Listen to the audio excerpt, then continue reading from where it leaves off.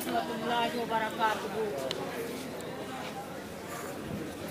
تم ظلم تو سہتے ہو مگر شکایت نہیں کرتے کیا کمی ہے آخر ہمارے لہو میں کہ ہم بغاوت کیوں نہیں کرتے دوستو بغاوت مینس یہ نہیں ہے کہ ہم کسی کے خلاف بلا وجہ ہی الجھ جائیں اور ان کو پریشان کر کے خود بھی پریشان ہو جائے۔ ہمارا یہ مطلب نہیں۔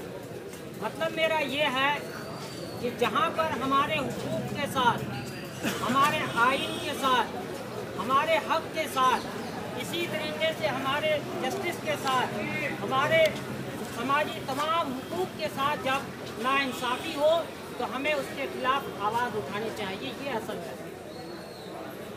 تو ابھی تین چار روز سے جو ہم نے نیوز پیپر میں اسٹڈی کیا ہے، تو وہاں سے یہی کھل کے آیا کہ یہ معاملہ پسے پردہ بہت لمبا کھیل ہے، جس کے پیچھے ایک لمبی سازش ہے جو کسی طریقے سے کھل کے نہیں آ رہی ہے۔ ایک انسان کیا جب مر چکا ہوتا ہے، کیا وہ اپنا نام یا اپنے والد صاحب کا نام یا اپنی آئی ڈی بتاتا ہو؟ ایسا کبھی نہیں ہو سکتا ہے۔ اسی طریقے سے ایک آدمی زندہ پکڑا جاتا ہے سولہ تاریخ میں۔ وہی انیس تاریخ کو پچیس ہزار کا ملزم ہو جاتا ہے۔ یہ سب بہت سوچنے کی بات ہے۔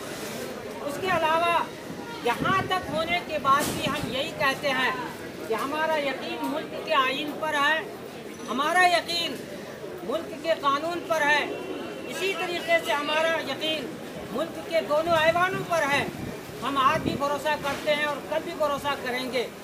اگر یہ واقعی سچ ہے، اس کو پوری طریقے سے اجاگر کیا جانا چاہیے، تمام لوگوں کے سامنے ساری باتیں آنا چاہیے۔ اگر وہ واقعی ملزم ہے، تو ہم اس کے بھی خلاف بات کو اٹھائیں گے۔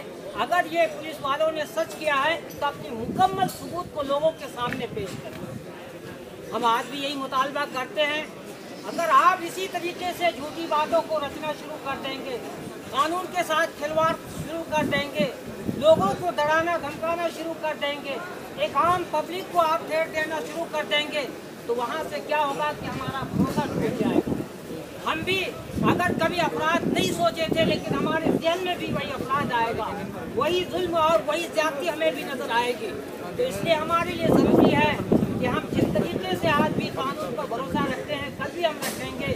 لیکن ہمیں صحیح راستہ دیا جائے۔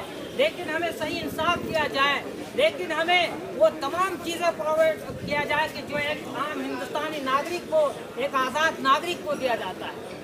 اسی بات پر میں اپنی بات کو ختم کروں گا۔ یہاں ماشاءاللہ بڑے بڑے لوگ موجود ہیں۔